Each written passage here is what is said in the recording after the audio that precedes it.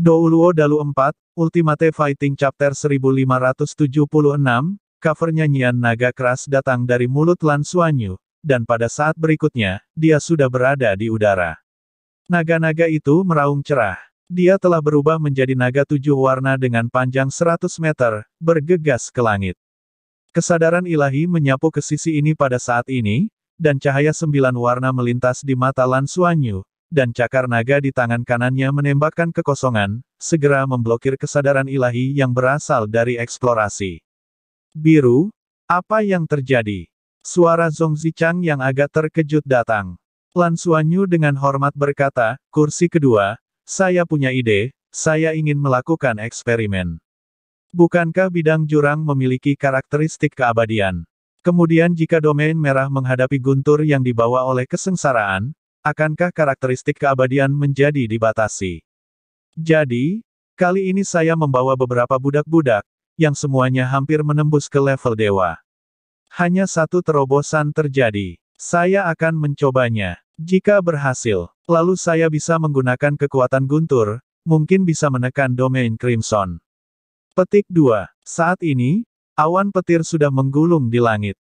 Lan Suanyu melompat ke udara, langsung menuju ke dalam badai petir. Membawa teman-temannya ke Tian Hexing untuk berlatih, dan berencana untuk mengatasi malapetaka, Lan Suanyu tentu saja sudah siap sepenuhnya. Bencana petir Tang Yuge hampir selalu setara dengan langit dan bumi Kicai. Tanpa penutupnya, bagaimana Kicai menjelaskan? Jenius macam apa ini? Oke, kalau begitu berhati-hatilah, kursi ini akan melindungimu. Zong Zichang benar-benar tidak mencurigainya.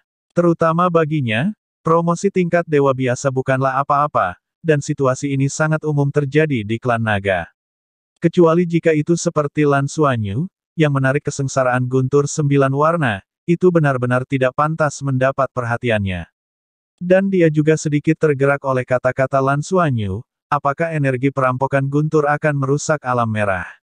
Apalagi saat ini, Crimson Realm agak diredam oleh Tian Heflit. Ini memang kesempatan bagus untuk memilih kali ini untuk melakukan eksperimen.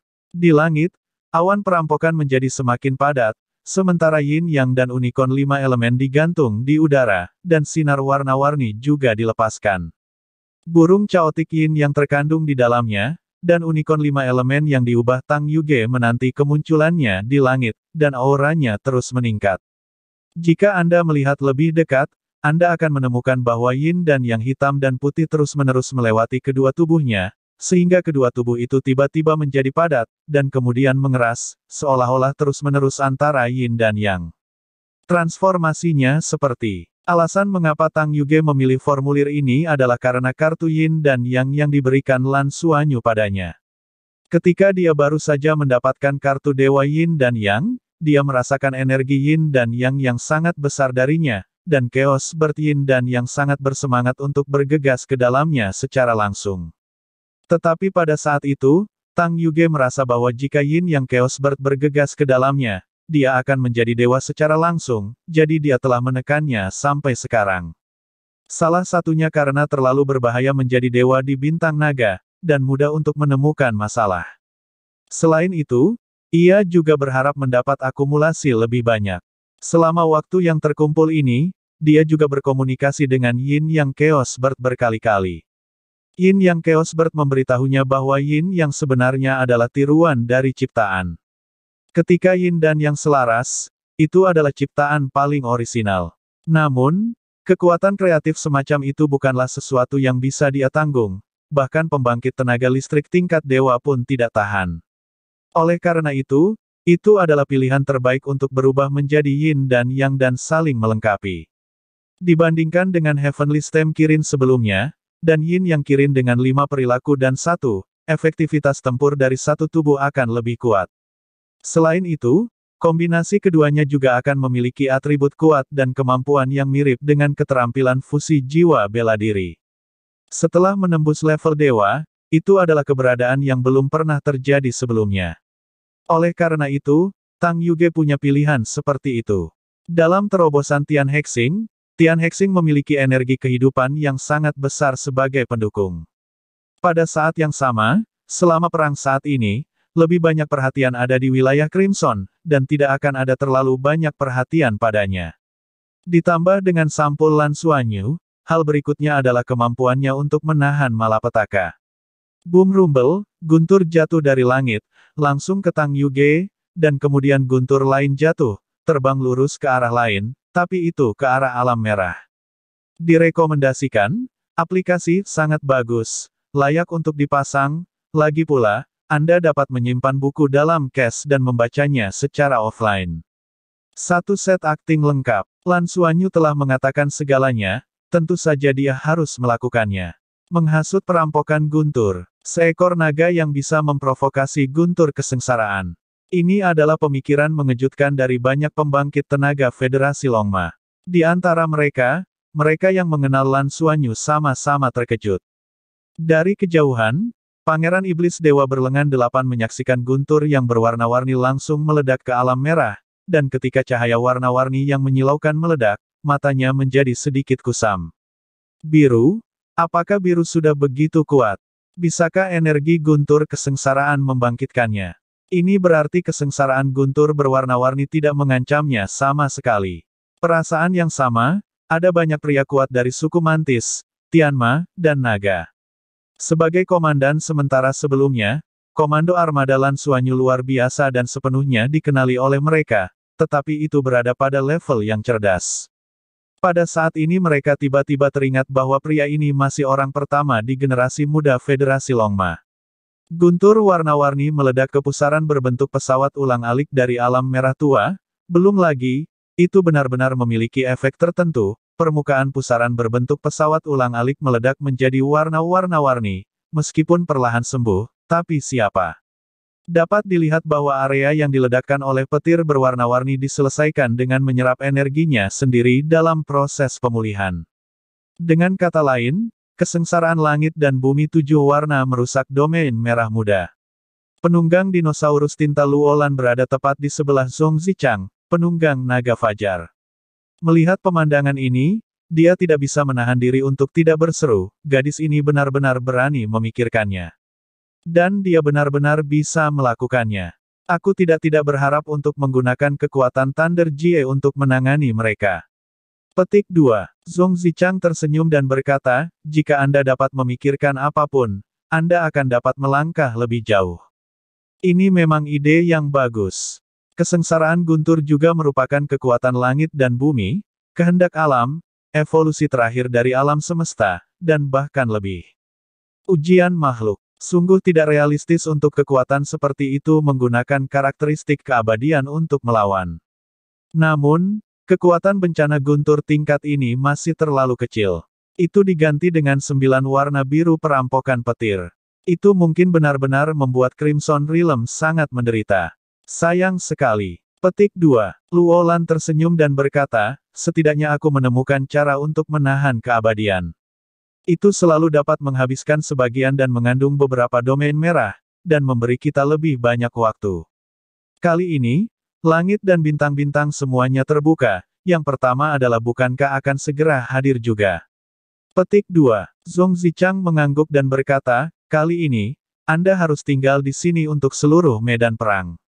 Energi yang terkandung di alam merah ini bukanlah hal yang sepele.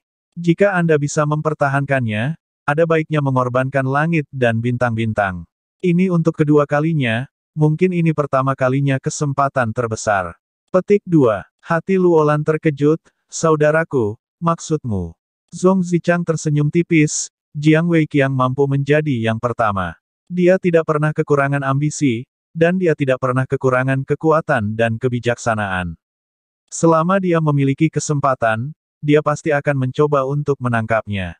Namun, kekuatan sebenarnya dari alam merah tua sekarang, kami masih belum bisa memutuskan. Dia ingin mencoba, lalu biarkan dia mencoba. Semoga dia bisa berhasil. Petik 2. Luolan menatapnya dengan aneh, kakak, benar-benar berharap dia bisa berhasil. Zhong Zichang meliriknya dan berkata, kalau tidak. Luolan terbatuk, bagus, bagus, kamu benar. Kalau begitu saya harap dia berhasil. Zhong Zichang menghela nafas pelan dan berkata, kamu terkadang terlalu sederhana untuk berpikir. Tidak semudah itu untuk menjadi yang pertama.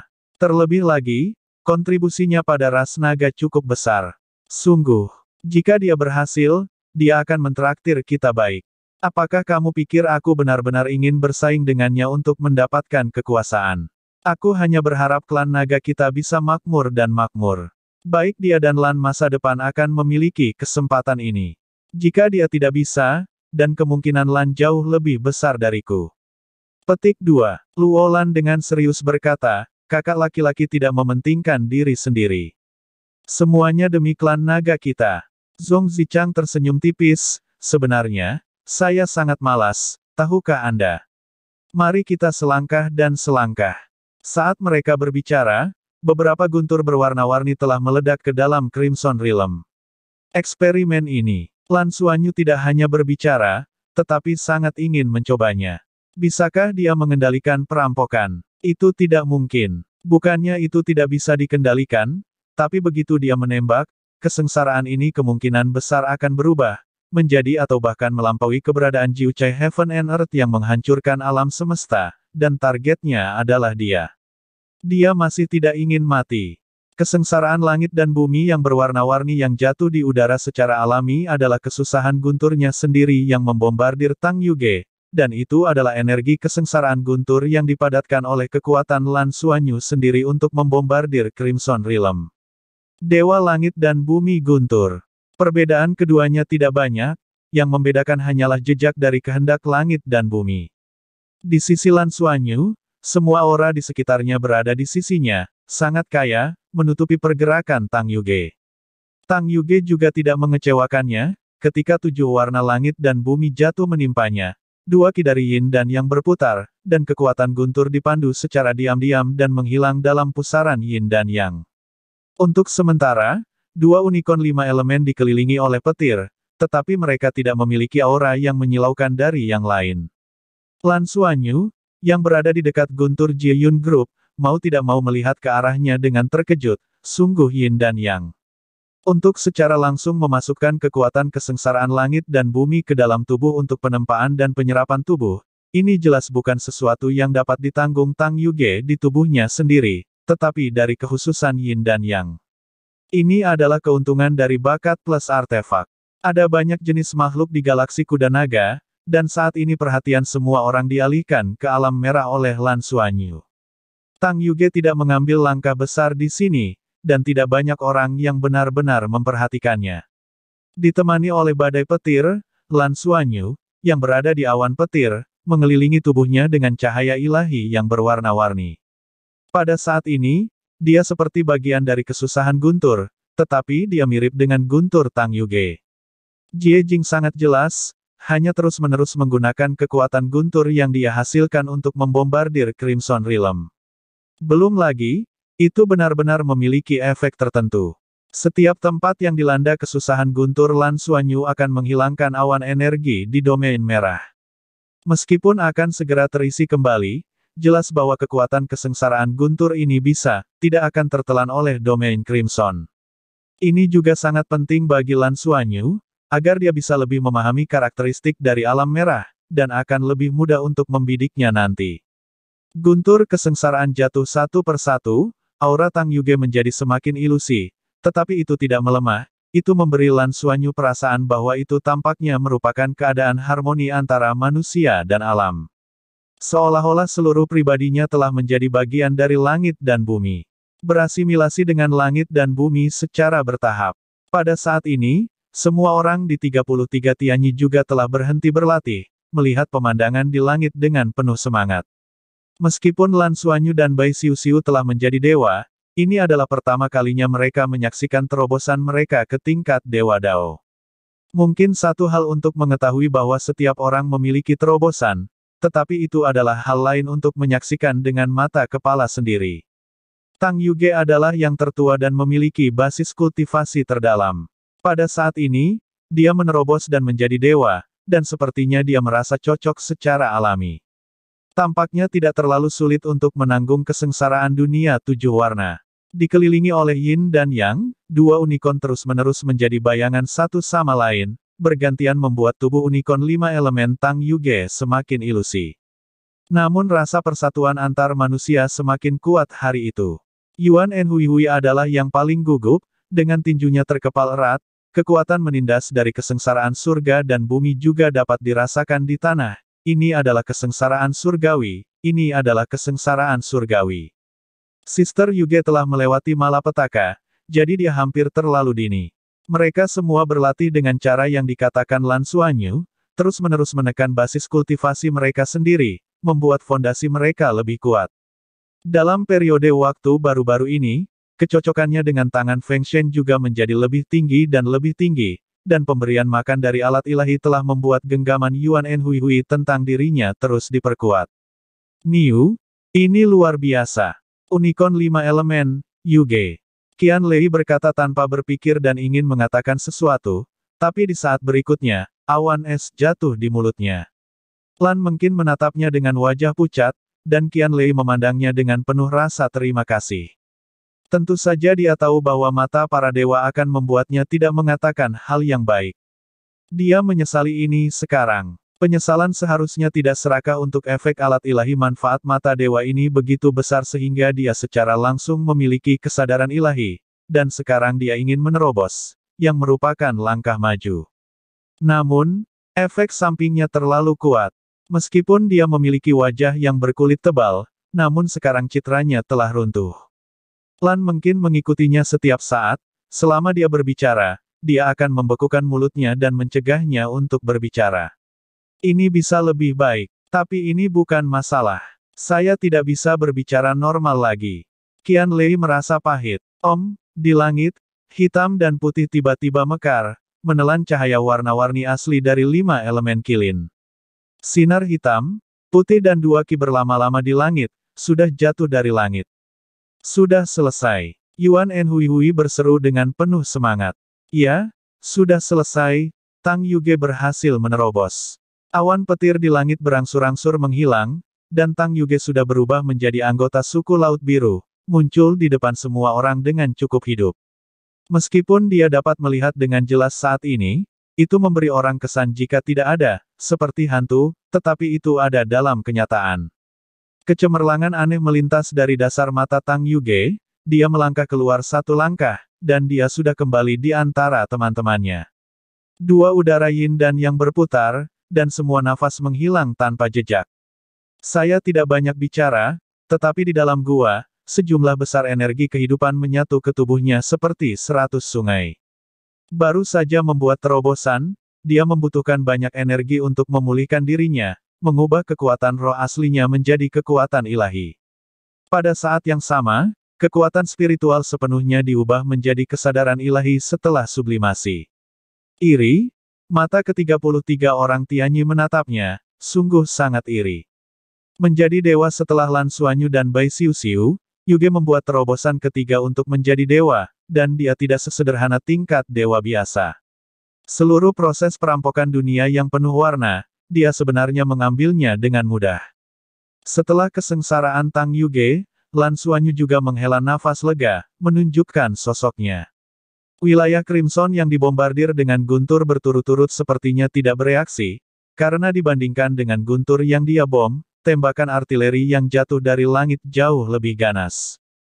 Meskipun wilayah Crimson memperkuat responsnya ke udara, namun demikian, armada Tianhe di luar angkasa juga telah memperkuat daya tembaknya untuk menahannya sepenuhnya. Sosok Lan Suanyu melintas, sudah jatuh ke tanah. Berjalan ke dalam gua, dia sedikit merasakan perubahan pada tubuh Tang Yuge, dan dia tidak bisa menahan keterkejutan secara diam-diam. Bahkan dengan kesadaran ilahi, Tang Yuge merasa seperti vitalitas surga dan bumi saat ini, vitalitas surga dan bumi yang sangat murni. Itu sepertinya kekuatan paling orisinal di alam semesta, sangat aneh. Tubuhnya juga berkembang pesat dalam proses ini. Yang paling penting dari ini adalah peran yin dan yang, tidak hanya burung keos yin dan yang, tetapi juga manfaat dari kartu ajaib yin dan yang. Burung keos yin yang asli hanya merupakan basis kultivasi 30.000 hingga 40.000 tahun, tetapi tablet Dewa Yin yang menutupi kekurangannya. Ini membuat Tang Yuge sangat santai ketika dia baru saja menerobos. Dua kiin dan yang ini menyerap energi guntur, energi kehidupan di sini mendorong evolusi fisik Tang Yuge. Kecepatan evolusi ini sangat cepat, dan terlahir kembali hampir setiap saat. Setelah menjadi dewa dalam satu langkah, Tang Yuge telah mengalami perubahan yang mengguncang bumi. Lan Suanyu berkata, semua orang terus berlatih, dan saya akan mengembalikan energi kehidupan nanti. Kian Lei, Hui Hui, mungkin, Anda tidak jauh dari terobosan, bersiaplah. Ketika Anda menerobos, saya akan kembali. Di antara tujuh monster Shrek, hanya Liu Feng yang memiliki basis kultivasi yang lebih buruk. Yang lain telah dibantu oleh artefak, dan kekuatan mereka telah meningkat pesat baru-baru ini. Selain Tang Yuge, Qian Lei adalah yang paling dekat dengan terobosan. Ini adalah efek kuat dari mata para dewa. Benda ini benar-benar memiliki dua sisi. Efek sampingnya memang merepotkan, tetapi manfaat yang dibawanya juga sangat besar. Lan Suanyu menjelaskan hal-hal ini, dan sosoknya menghilang dengan tenang, menghilang ke udara. Detik berikutnya, dia telah memasang kembali kapal perang Emerald Demon di bawah penutup pemburu harta karun, menerobos atmosfer, dan memasuki ruang angkasa lagi. Di luar angkasa, pembentukan lipan raksasa hampir tidak dapat menahan sebagian besar serangan armada. Armada sekarang sedikit direntangkan sehingga ada lebih banyak ruang untuk bermanuver. Kapal perang kecil mundur ke tempat yang lebih jauh, dan kemampuan perlindungan mereka tidak cukup. Bersaing dengan kabut korosif dan beracun yang dimuntahkan oleh kelabang raksasa, setelah terkontaminasi, dapat dimusnahkan. Lan Suanyu tidak terburu-buru untuk menembak, tetapi diam-diam mengamati situasi di medan perang. Medan perang ini tidak diragukan lagi sedang diawasi oleh banyak pembangkit tenaga listrik tingkat dewa super. Tetapi fluktuasi energi di sini juga sangat kuat. Kelabang raksasa itu hampir semuanya memiliki level di atas level dewa, dan beberapa di antaranya lebih besar dan bahkan kuat. Di antara mereka, duduk di tengah kota, ada kelabang raksasa dengan panjang lebih dari 2 km dan cahaya kemasan gelap memancar di atasnya. Ini adalah eksistensi tingkat dewa super, tingkat dewa super sejati. Auranya bahkan lebih kuat dari Kaisar Hitam yang sebelumnya menghadapi Zhong Zichang, ksatria naga ringan kedua dari naga langit. Lima ksatria naga tidak bergabung dengan medan perang di sini, tetapi memantau domain merah di bawah. Kekuatan kelabang raksasa ini sangat kuat, tetapi armada Tianhe masih memperluas keunggulannya. Untungnya, bahkan jika kelabang raksasa itu jatuh, mereka tidak akan benar-benar mati, jika tidak, alam merah mungkin tidak benar-benar dapat menghentikan mereka. Kedua belah pihak seperti perang gesekan saat ini, klan Tianhe pasti yang paling mendesak, karena Tianhe Sing mereka terus-menerus dikonsumsi oleh energi kehidupan Crimson Realm. Tapi mereka tidak bisa menahannya jika mereka cemas, ketahanan dari Crimson Realm terlalu kuat. Shock sebelumnya benar-benar membuat takut banyak orang. Bahkan para ksatria naga pun sangat cemburu. Itu adalah tabrakan pesawat, dan pesawat itu sendiri bisa digunakan sebagai senjata, ini pertama kalinya mereka melihatnya. Siapa yang tahu kartu hall apa yang tersisa di Crimson Domain? Tujuan armada Tianhe saat ini adalah membunuh semua kelabang raksasa ini secepat mungkin. Seperti yang dikatakan Tang Wulin pada Lan Suanyu sebelumnya, makhluk merah tua yang lebih kuat, semakin dalam yang mereka butuhkan untuk bangkit kembali. Energi alam merah, dan itu membutuhkan waktu. Kelabang raksasa pasti salah satu makhluk teratas yang bisa lahir di domain Crimson. Butuh waktu untuk bangkit kembali jika kamu mati. Jika kelabang raksasa tingkat dewa super itu mati, mungkin tidak mungkin untuk bangkit untuk sementara waktu. Lebih jauh lagi, semakin kuat makhluk-makhluk itu, semakin cerdas mereka, dan mereka tidak ingin bangkit dari kematian, karena setelah kebangkitan, mereka tidak akan menjadi mereka, semuanya dimulai kembali, dan kesadaran tidak akan tetap sama. Lan Suanyu diam-diam merasakan situasi di medan perang, sejak menjadi dewa, dia tidak bertarung dengan sekuat tenaga. Darah yang menggerahkan di dalam tubuh mendidih, memohon kekayaan dan bahaya. Dengan basis kultivasinya saat ini, tidak berlebihan untuk mengatakan bahwa dia adalah pilot pesawat tempur terkuat di dunia manusia, belum lagi keberadaan kapal perang iblis Zamrud. Selanjutnya, saatnya memamerkan teknologinya. Meraih tangan kanannya, mata Lan Suanyu menjadi lebih tajam. Kesempatannya ada di sini. Dipandu oleh kesadaran ilahi, seluruh tubuh kekuatan naga Lan Suanyu berjalan di saat berikutnya, meningkatkan keadaannya sendiri hingga ekstrim, dan kapal perang Emerald Demon meledak ke medan perang seperti kilat. Dia memotong medan perang dari sisi belakang. Mengandalkan kemampuan ilusi pemburu harta karun, kapal perang Emerald Demon saat ini tidak dapat menangkapnya sama sekali, bahkan jika itu adalah sens ilahi. Dengan ilusi super dan kecepatan super, kecuali itu adalah pembangkit tenaga listrik tingkat dewa super yang berfokus pada area kecil dengan kesadaran ilahi, mustahil untuk menemukan keberadaannya.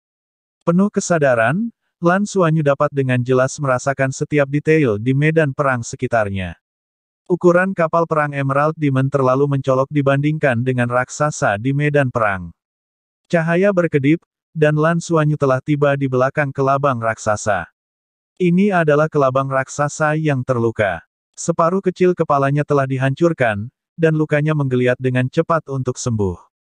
Kabut beracun korosif dari kanopi terus-menerus dimuntahkan dari mulutnya. Kabut beracun ini memiliki sifat pembiasan serangan energi. Kapal perang Emerald di mendalam sekejap berubah menjadi tujuh warna dalam sekejap, itu adalah rendering kekuatan naga Lansuanyu. Membuka mulutnya sedikit, cahaya keemasan dan bayangan keluar dari mulutnya, hampir menghilang dalam sekejap.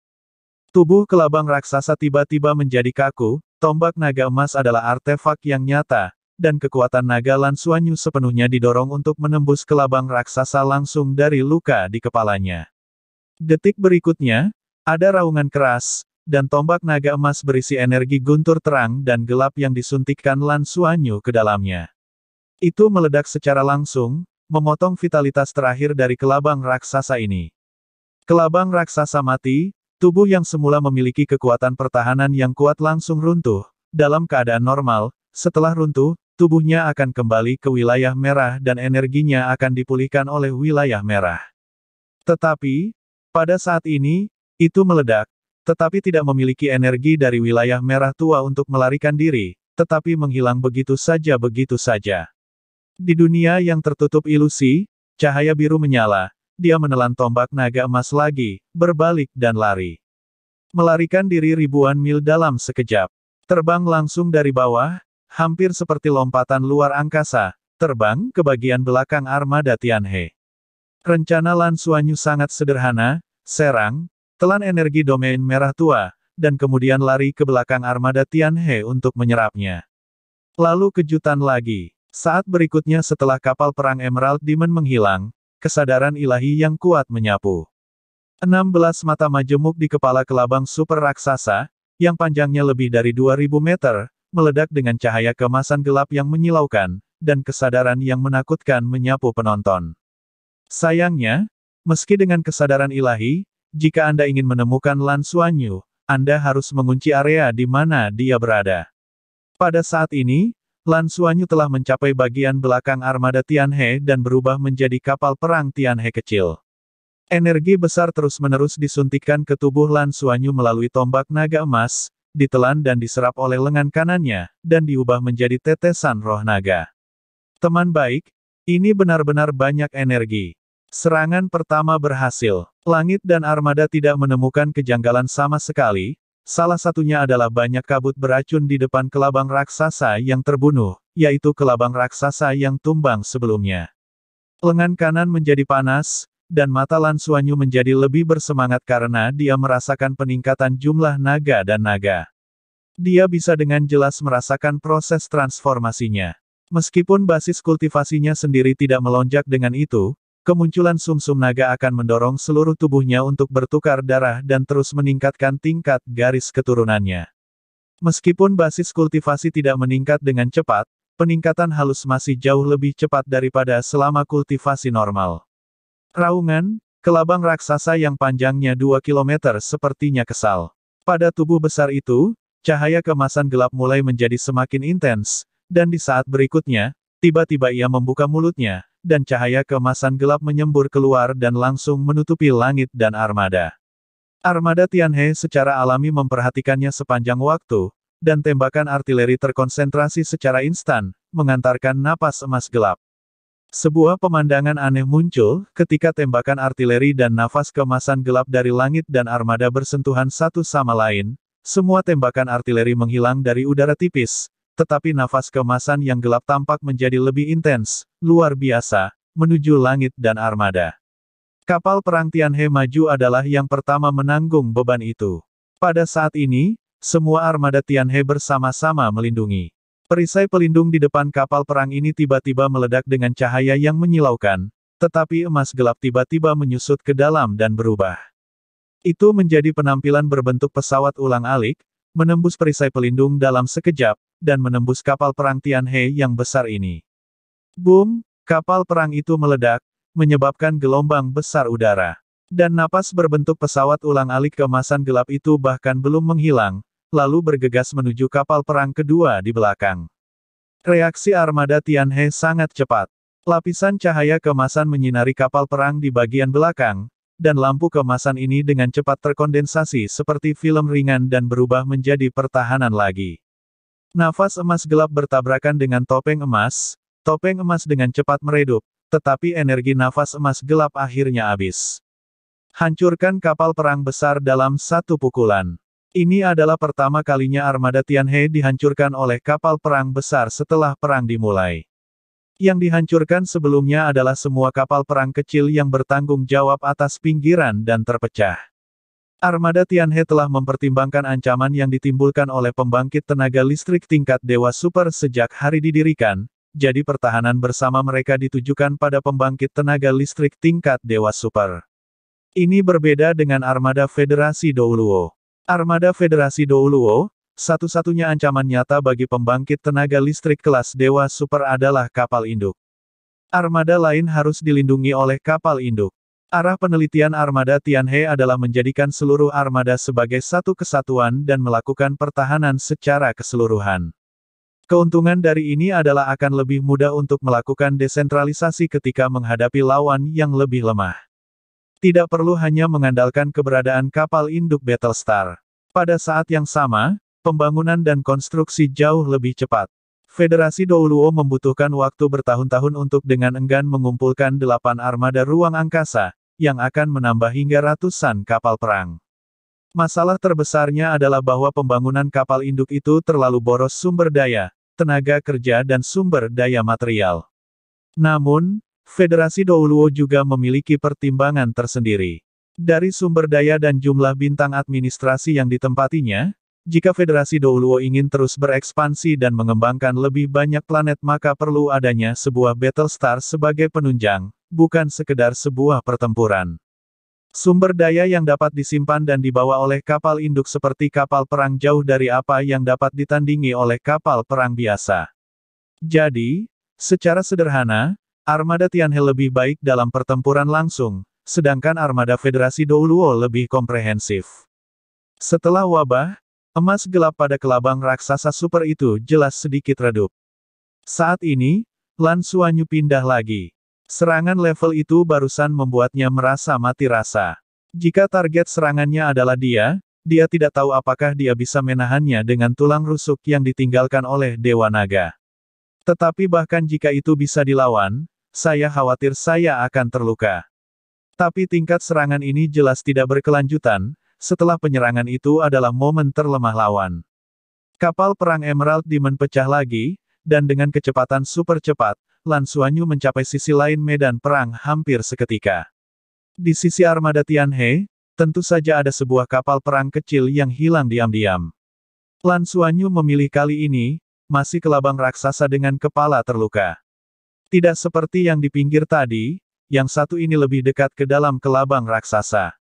Di sekitar adalah kabut beracun korosif dari kanopi. Lan Suanyu tidak terlalu mengkhawatirkan kabut beracun ini, Pemburu harta karun mengatakan bahwa kabut beracun ini tidak dapat menyerang jangkauan kekuatan naganya. Kapal perang Emerald Demon ditutupi oleh longgang dan diam-diam tiba di dekat kelabang raksasa. Masih mencari luka, tombak naga emas itu meledak. Namun, kali ini kelabang raksasa bereaksi. Bagaimanapun, itu adalah pembangkit tenaga listrik tingkat dewa. Selain itu, kelabang raksasa yang baru saja mati terluka parah, dan yang ini hanya mematahkan selusin kaki. Saat pistol naga emas ditembakkan, kelabang raksasa itu sepertinya menyadari adanya bahaya, dan tubuhnya tiba-tiba berputar, dan kabut beracun dari kanopi besar menyembur keluar dengan dampak yang kuat. Tertutupi menuju Lan Suanyu. Ia tidak dapat melihat Lan Suanyu, juga tidak dapat memahaminya, tetapi ia dapat menutupi semuanya. Dan ia juga tahu bahwa selama ia bisa menolaknya, ia akan memiliki mitra untuk mendukung dirinya sendiri. Tetapi karena Lan Suanyu telah mengambil tembakan, secara alami dia tidak akan diberi kesempatan untuk bertahan hidup. Tombak naga emas yang ditusuk tiba-tiba berubah menjadi sembilan warna yang cemerlang, meskipun telah menangkis bentuk tubuhnya dan menggunakan karapas berat untuk menahannya. Pada saat ini, di depan tombak naga emas, harga level dewa ini tidak mencapai setengahnya. Peran. Pada saat yang sama, sinar cahaya sembilan warna tiba-tiba meledak dengan kilau yang indah, dan nafas yang mengerikan keluar seketika. Kelabang super raksasa yang siap beraksi sepertinya merasakan sesuatu yang menakutkan, dan tanpa sadar dia berhenti. Dan sinar sembilan warna menyapu kelabang raksasa itu dalam sekejap. Detik berikutnya, Lan Suanyu sudah melarikan diri sekali lagi. Kala jengking raksasa, relatif lengkap, dapat memadatkan sekitar empat tetes roh naga. Mengkonsumsi satu tetes, menyuntikkan kekuatan sebenarnya dari Dewa Naga ke dalam tombak naga emas, dan yang meledak adalah nafas Dewa Naga. Nafas kesadaran Lan Suanyu pada saat itu membuat kelabang super raksasa ini merasa ketakutan. Meskipun itu bukan level Raja Dewa, pada saat itu, itu juga di bawah tekanan nafas dan darah, menekan lawan. Meski hanya ada sesaat, bagi Lan Suanyu, momen ini sudah cukup. Kabur. Dengan basis kultivasi Lan Suanyu, meskipun hanya satu lawan satu, Membunuh kelabang raksasa tingkat dewa ini bukanlah apa-apa, tetapi tidak mudah untuk mendapatkan kastanya dari api yang dikelilingi oleh banyak lipan raksasa. Serangan semacam ini paling takut untuk terjerat. Setelah dia terjerat, bahkan jika dia memiliki tiga tulang rusuk yang diberikan oleh Dewa Naga, dia mungkin tidak bisa melarikan diri. Oleh karena itu, tanpa ragu-ragu, dia memobilisasi energi sumsum -sum naga Dewa Naga tanpa ragu-ragu, dan melontarkan pukulan kuat, yang tidak hanya mengalahkan lawan secara instan, tetapi juga langsung menghancurkan merah tua lawan. Energi dari domain itu ditelan sepenuhnya, kesadaran diintimidasi, dan dia berbalik dan lari. Satu untuk empat, Anda menghasilkan uang. Dan kali ini, armada Tianhe dengan jelas menemukan petunjuknya, cahaya sembilan warna itu terlalu mencolok, dan kelabang raksasa jatuh dan menghilang dalam sekejap. Secara alami, mereka tidak akan melepaskan kesempatan ini, belum lagi kapal perang yang baru saja dihancurkan. Tembakan artileri mengalir deras, dan kelompok kelabang yang tertindas mundur dengan mantap. Lan Suanyu telah melarikan diri ke kejauhan saat ini, dan sejumlah besar kesadaran spiritual datang menuju wilayah udara di sini. Dia tidak berhenti, tetapi sedang mengendarai kapal perang Emerald Demon untuk terbang jauh. Ini hampir selesai, tidak bisa dilanjutkan. Jika Anda melanjutkan, saya khawatir itu benar-benar akan terbakar. Dua kelabang raksasa dibunuh olehnya berturut-turut, dan manfaatnya pun lumayan banyak. Lebih baik kabur dulu. Kapal perang Emerald Demon terus melaju kencang, dia akan membuat lingkaran besar di angkasa, dan kemudian kembali ke langit dan bintang untuk melihat perubahan dan menunggu kesempatan berikutnya. Bidikan terus-menerus terlalu berbahaya. Selain itu, dengan tujuh atau delapan tetes sumsum -sum naga dewa naga ini, dia merasa bahwa darah di tubuhnya sepertinya mendidih saat ini, lengan kanannya mengeluarkan nafas yang berapi-api, dan kecepatan di mana darah itu berubah secara signifikan, meningkat. Sepertinya saya tidak bisa menyerap terlalu banyak sekaligus, saya masih perlu mencerna.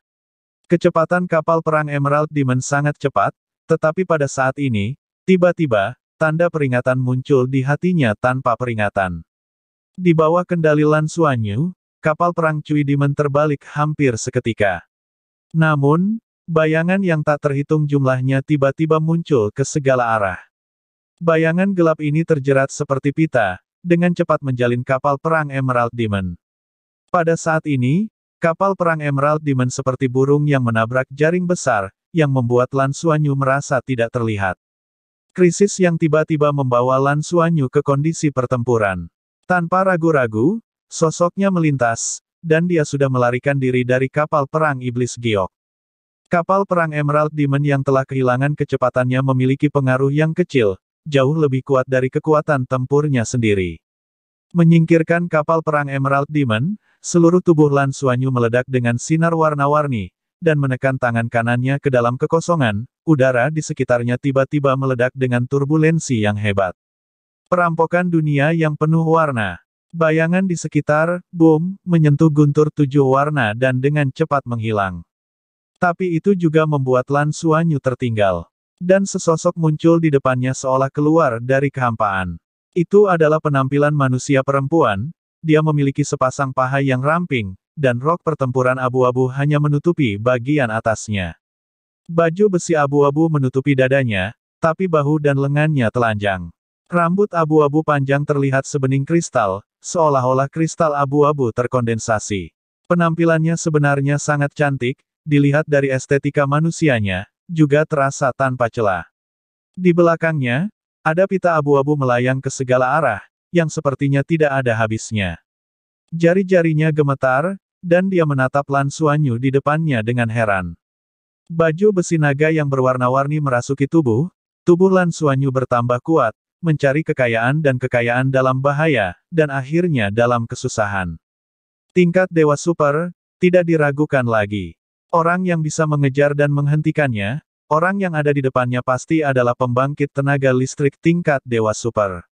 Pembangkit tenaga listrik tingkat Dewa Super dari alam merah tua. Dalam kekosongan yang panjang itu, dia tidak hanya menyembunyikan sosoknya saja, tetapi sosok yang ada di depannya jelas merupakan salah satu master. Pertama kali dia melakukan serangan mendadak, dia tidak diperhatikan oleh lawan, tetapi untuk kedua kalinya, dia ditangkap oleh lawan. Naga, gadis di Crimson Realm benar-benar mengucapkan lingua franca di Dragon Star. Ya, kamu siapa? Lan Suanyu bertanya dengan suara yang dalam. Dia telah terbang agak jauh saat ini, tentu saja, juga sangat mungkin pihak lain juga ingin dia terbang sedikit lebih jauh sebelum melakukan apa pun padanya, agar tidak ditemukan oleh naga Tian Hexing.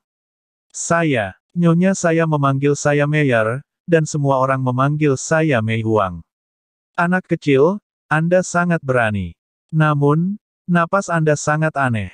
Jika Anda tidak mengejar Anda, anda akan memastikan Anda berulang kali nafas hanya tingkat dewa. Aku tidak bisa membayangkan bahwa kamu bisa meledak dengan kekuatan seperti itu sekarang. Serahkan. Petik 2. Lan Suanyu berkata dengan tenang, apa yang harus diserahkan? Secara alami artefakmu yang dapat menelan energi kita. Mei Huang Kiao berkata sambil tersenyum. Lan Suanyu dengan lemah berkata, bagaimana jika saya tidak membayar? Kalau begitu mati. Jika aku mati, Aku akan mengambilnya sendiri. Ribuan pita di belakangnya menyebar ke segala arah, dan segala sesuatu di sekitarnya tampak berlumpur. Domain? Ini jelas kekuatan lapangan. Kaulah yang membombardir Crimson Realm kami dengan guntur di udara sebelumnya. Tanpa diduga, klan nagamu memiliki hal kecil yang lucu. Sayangnya, kamu terlalu lemah dan kecil sekarang. Mei Huang berkata sambil tersenyum. Lan Suanyu menyipitkan matanya, maksudmu. Saat dia berkata, dia sudah mengeluarkan tombak naga emasnya. Cahaya di mata Mei Huang berkedip-kedip, ini sedikit berbeda, ini menarik. Sangat bagus, sangat bagus, berikan aku, berikan aku hidupku dan membawamu kembali untuk menemui Nyonya.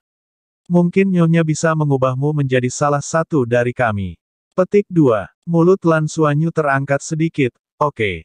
Ini dia. Saat dia berkata, cahaya warna-warni pada tombak naga emas di tangannya melonjak, dan ribuan lampu tombak langsung mekar, menutupi kaisar pesona, persis seperti yang ditunjukkan Qianfu. Kekuatan naga pecah, dan dalam sekejap, seluruh tombak naga emas diubah menjadi tujuh warna, yang lebih menakutkan adalah ada guntur warna-warni di sekitarnya. Baju besi naga berwarna-warni meledak menjadi naga warna-warni, tombak Lan Suan Yuren bersatu, dan kilat menyambar. Huh, Mei Huang tampak sedikit tidak senang, dan pita di sekitarnya bergetar pada saat yang sama tiba-tiba, tubuh depan Lan Suanyu tiba-tiba menjadi lesu. Boom, energi warna-warni meledak, Lan Suanyu secara paksa meledakkan energi kesengsaraan langit dan bumi yang berwarna-warni di sekitar tubuhnya, dan energi yang meledak seketika membatalkan efek medan itu sejenak. Bagaimanapun, Ribuan lampu tombak masih tumpang tindih menjadi satu, menusuk tubuh Mei Huang. Huh, Mei Huang jelas sedikit terkejut, tangan kanannya muncul seperti kilat, dan bayangan abu-abu terlihat di depan tombak naga emas. Ding! Dengan suara yang tajam itu, tubuh Lan Suanyu terguncang, dia hanya merasakan bahwa energi yang mengerikan digunakan dengan liar, dan kemudian dengan liar menyerang setiap sudut tubuhnya. Kekuatan hisap yang besar datang dari belakangnya, seolah-olah ada jurang di belakangnya, dan dia akan menelannya sepenuhnya. Lingkaran-lingkaran warna-warni beriak dari tubuh Lan Suanyu, meluas keluar. Tujuh atribut, pengupasan elemen. Meskipun saya tidak tahu jenis energi apa yang dimiliki oleh energi pihak lain, semua energi tidak dapat dipisahkan dari asalnya. Di bawah pengaruh pengelupasan elemen, gaya isap yang datang dari belakang berkurang sedikit, tetapi masih menarik tubuhnya. Energi yang menyerang tubuhnya mencoba menarik vitalitas keluar dari tubuhnya. Metode serangan aneh ini adalah pertama kalinya Lan Suanyu menemukannya, Sisik naga berwarna-warni menyebar ke seluruh tubuhnya, dan inti Dewa Naga bergetar tiba-tiba. Sinar cahaya berwarna-warni di sekitar tubuh Lan Suanyu seketika menjadi intens, dan energi ledakan tiba-tiba keluar, secara paksa mengeluarkan energi asing yang telah menyerang tubuhnya. Dewa Naga itu abadi. Setelah dia mencapai garis keturunan Dewa Naga yang sebenarnya, dia memiliki kemampuan bakat ini. Dewa Naga itu abadi, dan semuanya tak tergoyahkan. Tidak hanya itu, Lan Suanyu terangkat ke langit dan mengeluarkan nyanyian naga, dan inti Dewa Naga di dalam tubuhnya bersinar terang, memberinya cahaya samar sembilan warna di matanya.